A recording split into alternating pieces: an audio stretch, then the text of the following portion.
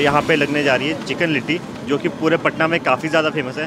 तो क्वांटिटी देखिए भाई, कितनी ज़्यादा क्वांटिटी है पतीला भर के यहाँ पे चिकन लेके आए हैं तो सबसे पहले देख सकते हो, ये आगे ग्रेवी चिकन की ग्रेवी रहती है। तो बढ़िया तरीके से टमाटर की कटिंग चल रही है। तो देख सकते हो, ये चिकन के पीसेस डालने जा रहे हैं। साइज़ देखिए चिकन के पीसेस कितना बड़ा साइज़ है।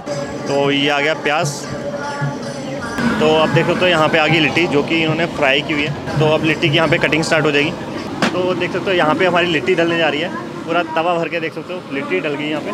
तो अब जितनी भी ग्रेवी थी जितने भी इन्होंने मसाले डाले हैं सारे अच्छे से लिट्टी में अब्जॉर्व कर लिए जाएँगे।